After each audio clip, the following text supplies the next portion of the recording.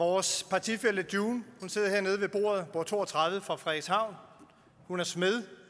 Hun har været igennem tre massefyringer, og det samme har hendes mand. Og nu arbejder hun i fiskeriindustrien. June og hendes mand har kun øh, beholdt skinnet på næsen, takket være Frederikshavns Kommune. Men de er stadigvæk bekymret omkring det sikkerhedsnet, som øh, dagpengesystemet udgør. Og det er en helt berettiget bekymring, som optager June og hendes kollegaer, vores faglige kammerater og vores eget parti. Vi gik som bekendt til valg på at ændre den dårlige dagpengereform, som de borgerlige med Dansk Folkeparti i spidsen vedtog og gennemførte. Men vi tabte valget, vandt regeringsmagten og indgik et kompromis med de radikale. Jeg beder ikke om, at vi bryder det kompromis eller den aftale. Men det betyder ikke, at vi er glade og tilfredse.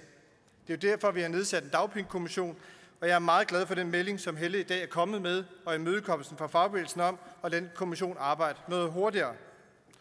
Men vi står jo stadigvæk med den udfordring, at June og hendes kollegaer er utrygge omkring, hvad er det egentlig, der så skal ske frem til et nyt dagpengesystem træder i kraft. Og det er jo derfor, jeg har foreslået, at vi stopper udfasningen af den midlertidige arbejdsmarkedsydelse og fortsætter den ind til, at kommissionen er færdig med sit arbejde, og vi kan lade et nyt system træde i kraft. Det er et løsningsorienteret forslag, der kan gennemføres med respekt for den parlamentariske situation, som vi befinder os i, fordi det ikke ændrer grundlæggende ved den dagpengereform, der blev vedtaget i 2010.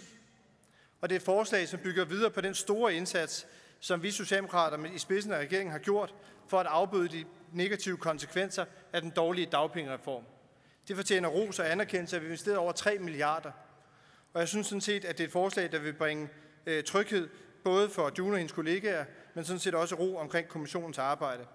Og endelig og slutligt, så er det et forslag, der understreger, at vi Socialdemokrater mener, at arbejdsløshed ikke skal være overladt til en enkelte, men er en kollektiv udfordring for os alle sammen. God kongres.